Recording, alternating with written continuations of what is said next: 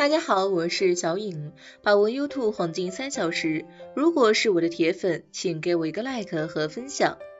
第一次看我的视频，请你静悄悄给我一个 like，在这里真心感谢您了，感谢您。主食是人类一日三餐中不可或缺的一部分，它不仅能满足大家的口腹之欲，还是人体获取能量的主要来源之一。话说，主食的种类五花八门，如馒头。包子、面条、米粉、发糕、油条、玉米、红薯等等，你最爱哪个？其实无论你喜欢哪种，只要能保证食品安全、正确且适量食用，一般于身体无害。但是如果你买到了伪劣，甚至是含有害物质的主食，那对身体百害而无一利。譬如以下三类主食，就是伤身体、偷寿命的利器。含铝的包子，白白胖胖、暄软蓬松、味美多汁的包子，是很多国人早餐的首选。在此，小颖要提醒大家，碰到那种既大又白、卖相还特好的包子要警惕，小心是有毒的铝包子。所谓铝包子，是指非法使用了含铝食品添加剂而制作出来的包子。铝是一种低毒金属元素。人体摄入后，仅有百分之十到百分之十五的铝能排出体外，其余大部分会蓄积于体内，并与多种蛋白质、酶等结合，影响体内的一些生化反应。现代研究发现，若人体长期过量摄入铝，会导致骨质疏松、胎儿发育障碍、儿童发育迟缓、记忆力衰退、老年性痴呆、卵巢萎缩、贫血等疾病。因此，早在1989年，世界卫生组织就正式将铝确定为食品污染物，并要求严格控制。我国原卫计委等部门也早已发布公告，自2014年7月起，加工制作膨化食品中不得使用含有任何铝食品添加剂。加工制作小麦粉及其制品，除油炸面制品、面糊、果粉、煎炸粉之外，不得使用含铝蓬松剂、硫酸铝钾和硫酸铝铵。然而，仍然有个别不法商户为了牟利而顶风作案。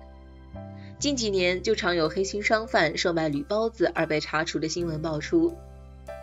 注意，除了又白又软又大的包子，类似的馒头、发糕及一些膨化食品，也可能含有含铝蓬松剂，是隐藏的含铝大户。因此，大家购买时一定要去正规的店铺，最好别在路边摊随手购买。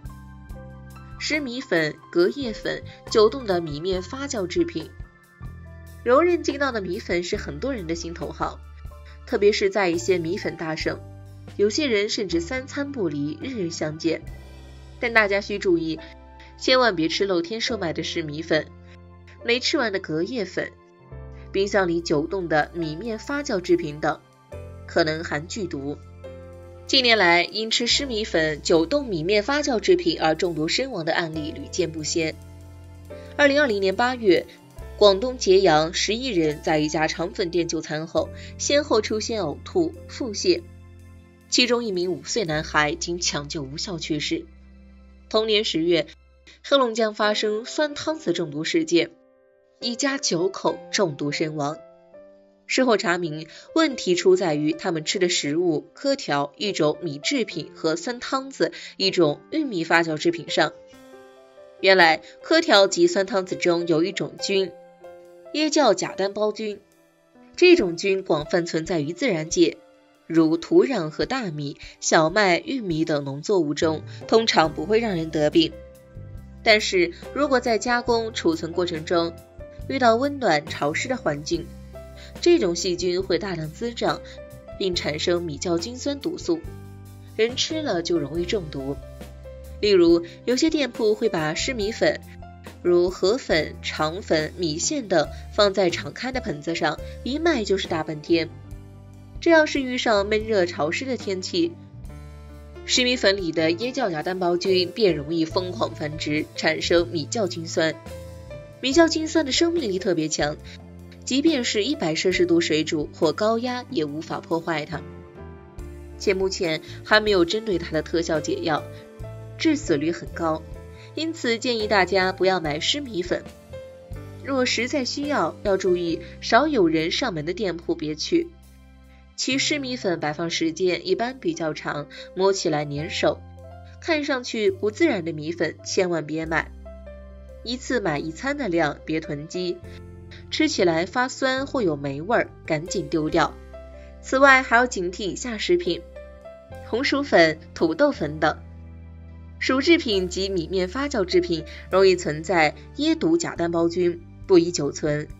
久泡的木耳、银耳摸起来黏黏的，或质地软烂，或有异味，说明已被母酵菌酸污染，要赶紧丢掉。新鲜的木耳、银耳及开口的椰子，带毒风险较高，不要食用。高油主食、香气十足的油条、油饼、炒粉、炒面等主食，谁吃了不迷糊？但小颖要给大家泼冷水了。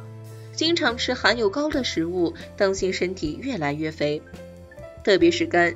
首先，只要食物经过油炸、油煎、油炒，都免不了吸入大量油脂。坦白讲，人体的正常运行离不开脂肪，但如果摄入过多，获取的热量就越多，越容易导致肥胖，尤其是杀伤力更大的腹型肥胖。腹型肥胖者的脂肪主要沉积在腹部皮下。及腹腔的肝脏、胰腺、胃肠道等器官周围和内部。拿肝脏来说，过多的内脏脂肪即引起脂肪肝。研究证实，轻度脂肪肝患者若及时调整生活方式，必要时减肥，那么逆转的可能性挺大的。但如果听之任之，且高油食物吃上瘾，那么轻度脂肪肝将逐渐发展为中度、重度。部分患者会发展成为脂肪性肝炎，甚至逐步进展为肝纤维化、肝硬化、肝癌。其次，除了过量油脂，高温反复煎炸这种烹饪方式也存在巨大的健康隐患。通常食物在油炸、油煎过程中接触的温度往往高达几百摄氏度以上，其所含的蛋白质、脂肪等很容易发生高温变性，进而可能产生苯并芘。杂环胺等致癌物质，人体若是经常摄入反复高温煎炸的食物，患癌的风险自然层层的涨。建议对于高油食物，偶尔吃一点无大碍，但应尽量少吃。如果吃了高油食物，当天餐食中的烹调用油要相应减少。好了，今天的视频就分享到这里了，感谢您的观看，我是小颖，我们下期再见了。